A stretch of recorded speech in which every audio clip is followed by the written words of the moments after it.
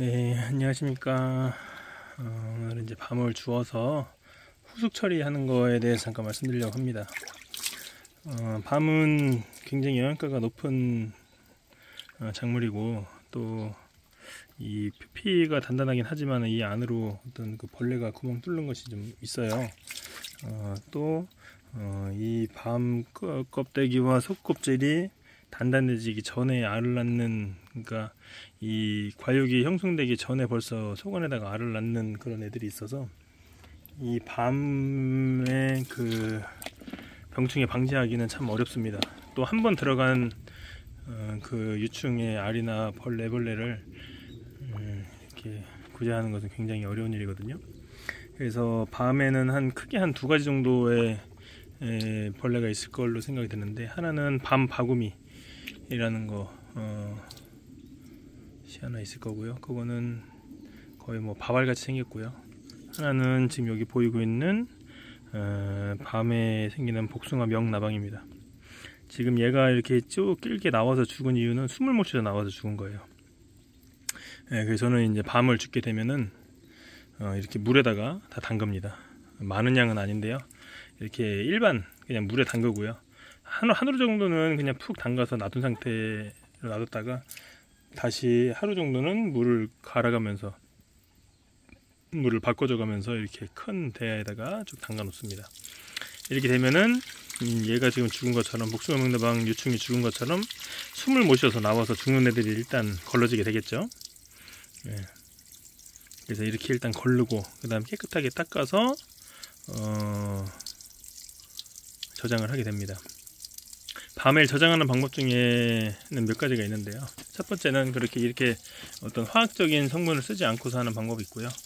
두 번째로는 물에 침지하기 전에 어, 이황화탄소라는 그 어, 약품이 있습니다. 훈중으로 하는 약품인데 그 어, 약품을 이용을 해서 벌레를 죽이는 방법이 있거든요. 어, 훈중을 하면은 확실하긴 한데 일단 어떤 어, 가스를 이용해서 어, 벌레를 죽이는 것이다 보니까 어, 좀 추천하지는 않는 방법이고요. 약품을 구하기도 어렵습니다.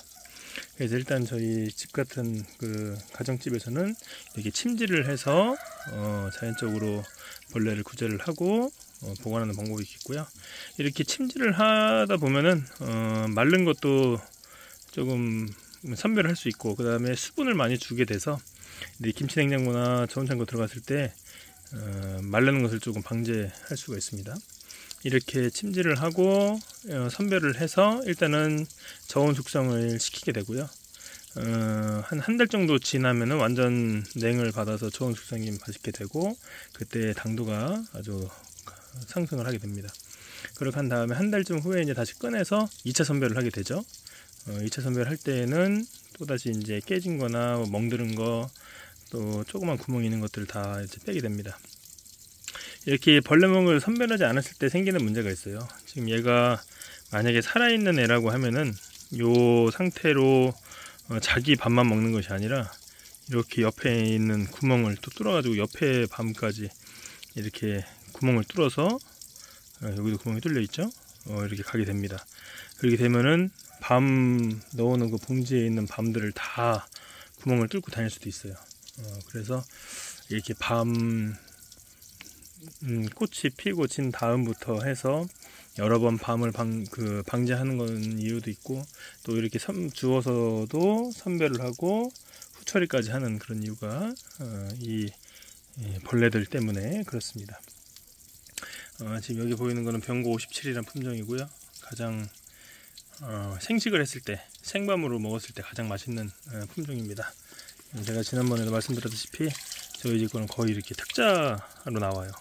어, 그래서 그건 뭐 선별할 거 없이 아주 그냥 어, 이 링은 굉장히 크죠. 크게 나오는 품종이 있고 그 다음에 얘는 이제 은기라는 품종이고요. 이것도 아주 오래 굉장히 밤에 크게 이렇게 나왔습니다. 네. 어, 올해는 그냥 음, 조생은 굉장히 밤이 안 좋았었는데 어, 중만생은 그래도 조금 작황이 좋은 것 같아요. 그래서 지금 현재도 밤값이 떨어지진 않고 있어요. 특이 수매가가 4,000원이고요. 뭐 4,200, 300원까지 주는 데도 있고 그 다음에 500원씩 떨어지게 되거든요. 어, 근데 아직까지 유지되고 있는 거 보면은 조생종이 조금 수확량이 좀 적어서 그 여파가 지금까지 있는 것이 아닌가 이렇게 생각이 됩니다. 네, 감사합니다.